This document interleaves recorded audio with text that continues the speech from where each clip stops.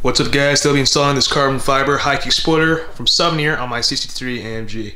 First thing I do is take off this old spoiler I got over here, it's just made of plastic, it's pretty simple. Um, it is kind of taped on there from OEM, from the factory. Um, the only concern I have right now is that this car is matte paint and you really don't want to mess up the paint at all because um, you can't buff it out, you just can't buff out matte paint. So um, what I'll probably do is I'll the edges with some um, painter's tape and clean the surface around it just to make sure it's spotless. Then we can go ahead and use some fishing line and some heat and we can take off the old one. As you can see, there was a tiny, a tiny gap in between the stock spoiler and the actual paint itself. So just kind of slid it down in between and then hopefully that should help a lot with the actual taking the spoiler off and sticking some fishing line in between. Just kind of make sure that tape is all coming off nice and easy without scratching the paint at all. Um, I'm not sure if I'm going to do this all the way across. I might just do it over here when you get started and stuff like that. And uh, yeah. Alright, so all I've done so far is put some tape sort of in the corner where I'm going to be grabbing on the spoiler. And then I'm just kind of heating up the entire sort of spoiler right over there, the entire thing. And uh, not going too close to it, just kind of getting enough where it heats the material up. Just so that we get the adhesive below kind of heat up. I actually noticed that this side, um, where the AMG badge is already pretty loose.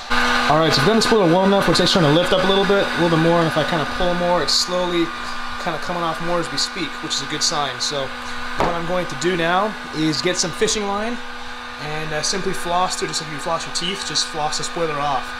Um, it'll kind of cut the existing tape out of the way, and uh, we can kind of make more progress as we keep going along. And there we go. I've got my old spoiler off. Kind of looks weird in the car now with uh, just that barren sort of lip. Looks pretty ugly actually, especially with all that tape and debris and stuff. So we'll take that off next. But uh, it's kind of funny if you look at the actual spoiler.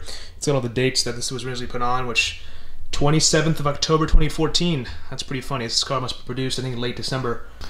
Alright, so I'm not taking the old tape off yet, and you can actually see with the new spoiler kind of test fitted on here that the old spoiler kind of would extend out a little bit further. Um, so it's less of an extension, uh, less of an extensive sort of U-shape, I mean, less curved rather.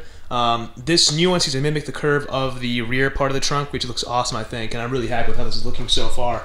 This is really just sticking on the car by the uh, remnant tape on the trunk lid, so it's probably not very secure on there at all. If I were to tap it, it'd probably fall off. But um, yeah, I'm really happy with how this looks so far. Check that out. and kind of see how tall it goes. It is pretty dirty, keep in mind, and uh, it follows that edge pretty damn well, I gotta say. So, this looks awesome. I couldn't ask for more. I think this is a really great quality product. Um, I know a lot of these spoilers can actually, you know, come on, come out of the box pretty warped and stuff, but uh, this is what Gary had at Suvneer. He just gave me what he had. This is the last one he had in stock. I believe he's getting a new shipment in pretty soon. Um, so I'll put the link below to the spoiler. Um, but uh, yeah, it's looking really good so far. This is a good time to mention that the uh, the coupes actually have a different trunk lid than the sedans do. So a lot of people don't recognize this because um, it is pretty hard to tell the difference. But there actually there's a small difference in the coupe trunk lid versus the sedan trunk lid.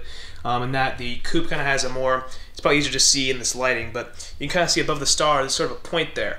So the coupe trunk lids are more pointed at the at the rear than the sedan ones are. So as a result, these spoilers are not you know compatible with both. There's only one fits a coupe or one fits a sedan, and it's not both. Alrighty guys, I've gone out as much tape as possible that I could get off. Um, now, because I have a matte car, like I said earlier, can't polish this off, can't do any compounding, can't do any of that crazy stuff. So um, I'm going to leave it as it is. So only to keep in mind is that you can actually kind of see a little bit of where the old tape would be, which you can kind of see a faint line right there um, of um, of where the tape would be with the new spoiler on, as it kind of is more curved, like I mentioned earlier. So um, for some reason on my car, it's leaving this really weird, like sort of faint residue line, which is not really going away, but I think if I give it some time, just the elements and washing the car and stuff, it'll go away eventually. So I'm not too worried about that. All right, so now I'm ready to put this spoiler on the car. So all I gotta do now is take off the tape off the bottom over here. It is, was pre-installed on my spoiler release, so I'm gonna take it off and just set it on down. And you kind of want to make sure it's over that ridge cut like I was saying before. So you just get all this tape off.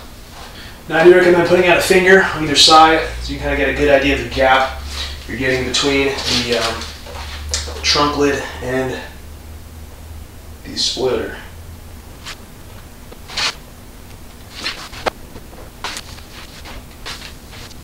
Alright, like this position it's at right now, I'm going to press down along the entire thing. And just like that, it's looking pretty solid, I gotta say. Now, I would not drive the car for a while after installing this, kind of want to cure a little bit and tape to settle. I'm also going to put some um, tape just around the top of this uh, spoiler and also to the toe of the bottom of the car, or bottom of the trunk lid rather, to make sure it's just kind of all tight and on the uh, car properly. Add some tension to it overnight. But other than that, that's pretty much it. I'm to put some tape and show you guys real quick what that looks like.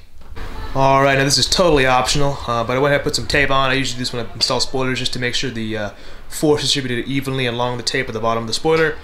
As you can see, I have some tape going along the front end with some tension, of course, and then some along the back side, but totally optional, not necessary, just kind of overkill, but I like doing that. Um, but uh, yeah, now I'm going to take the tape off because it's been a couple days, and um, despite the car being very dirty, we're going to check it out.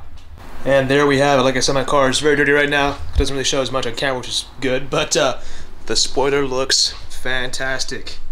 Also, if you have a matte car like mine, you have this residue over here, like I was kind of mentioning earlier. One of my buddies with the Edition 1 Matte Black C63 actually had this exact same problem as me, and he found this adhesive remover that works pretty flawlessly. So I bought it on Amazon. It was like 10 bucks, I think. So I'll put that in the description below if you have a matte car. But yeah, like I said earlier, check out Suvneer.com. They got the really good carbon stuff. I have a new diffuser I'm going to be putting on soon. I have their front lip, which I installed in the previous video. Uh, but this spoiler looks great, I think. Um, you have BMW, they also have BMW stuff the 92s and stuff. Um, you can see my front lip is looking good so far. Put some uh, pictures up in a second.